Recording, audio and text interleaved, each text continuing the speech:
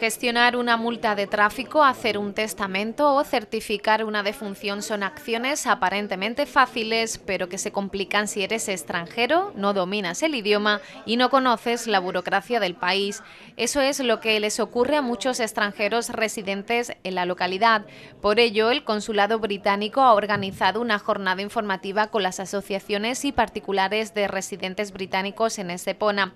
En las jornadas han participado los cuerpos de seguridad abogados o trabajadores del padrón, entre otros especialistas.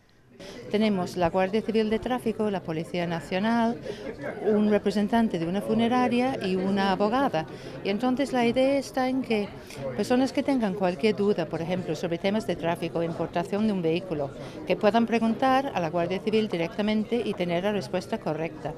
La Policía Nacional nuevamente nos hablan de cómo no ser víctimas de robo. Y aunque muchos de los consejos que dan son obvios, muchas veces el sentido común es el menos común de los sentidos.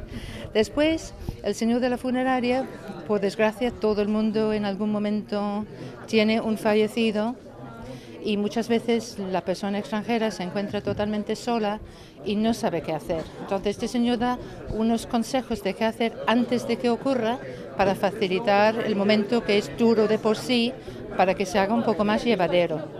Y después la abogada suele hablar temas de testamentos, y cosas en general de comprar propiedades.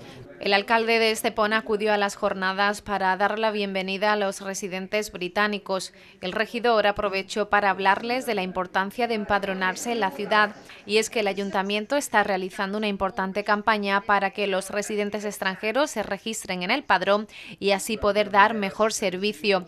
En total, en Estepona hay registrado unos 7.000 británicos, pero el ayuntamiento cree que hay 15.000 más que no están registrados.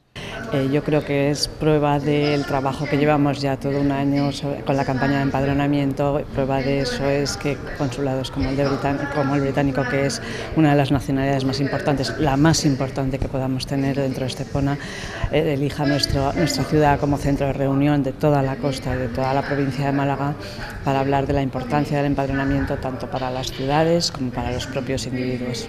Es la primera vez que el Consulado Británico organiza unas jornadas informativas de este tipo en la localidad.